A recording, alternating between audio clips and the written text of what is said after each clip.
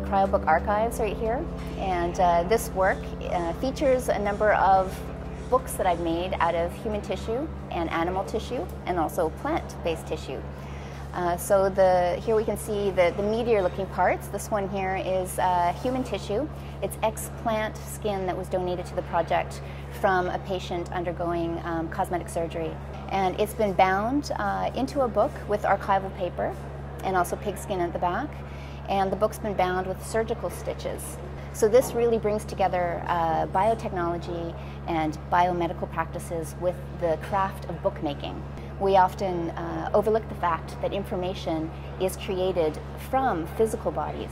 We're so concerned about digital information age right now that we forget that often um, biotechnology, for example, uses cells, human cell um, culture, tissue culture, uh, blood, to give us information. So I made these, um, well, a year ago, but it took me three years to get the, the um, protocol developed. There's virus that's used in this.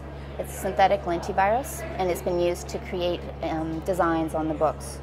And um, it talks to uh, the idea of how viruses are um, also very interesting um, entities of information. We often think about viral video or, or digital media as going viral. This is a, a viral piece right here. So exhibiting here in the Science Gallery uh, is a wonderful experience.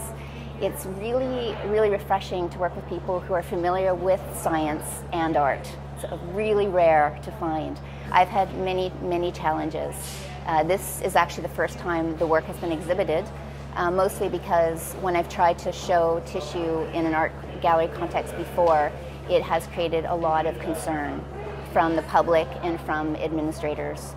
And in fact, one of my um, works was uh, banned from an exhibition uh, a couple years ago um, because the gallery uh, directors were concerned about health and safety issues.